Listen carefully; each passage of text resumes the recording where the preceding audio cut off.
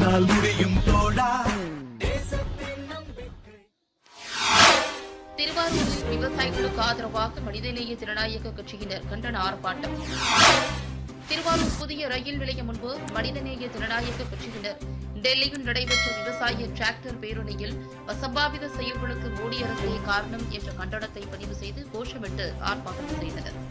ஆர்ப்பாட்டத்தில் டெல்லியில் போராடும் விவசாயிகளுக்கு வாழ்த்து தெரிவித்தும் விவசாயிகளுடன் மத்திய அரசு மோதக்கூடாது என எச்சரித்தும் விவசாய சட்டங்களை எதிர்ப்போம் எனவும் டெல்லி விவசாயிகள் மீதான தாக்குதலை வன்மையாக கண்டித்தும் கோஷங்களை எழுப்பி ஆர்ப்பாட்டம் செய்தனர்.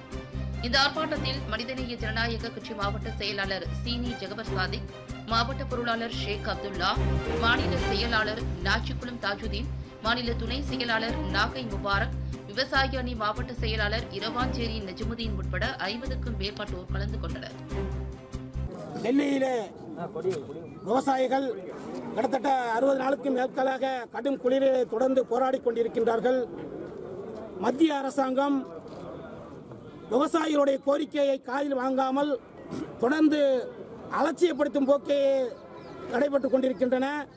அவர்களின் கவனத்தை ஈர்க்க வேண்டும் என்ற அடிப்படையிலே குடியரசு தினத்தை முன்னிட்டு டெல்லியிலே போராடக்கூடிய விவசாயிகள் டிராக்டர் பேரணியை அனுமதி பெற்று டெல்லியிலே நடத்தி இருக்கின்றார்கள் ஒரு பக்கம் அனுமதி கொடுத்த அந்த டிராக்டர் பேரணியில் வலதுசாரி கும்பலும் டெல்லி காவல்துறையும் பூந்து கொலைவெறி தாக்குதல் விவசாயிகள் மீது கொலைவெறி தாக்குதல் நடத்தி அராஜகத்தை நிறைவேற்றி இருக்கின்றார்கள் இந்த நாட்டின் முதுகெலும்பாக இருக்கக்கூடிய விவசாயம் காக்க வேண்டும் என்று போராடுகின்றார்கள். இங்கே டெல்லியிலே அந்த வன்முறை நிகழ்த்திய அராஜகம் நிகழ்த்தியது.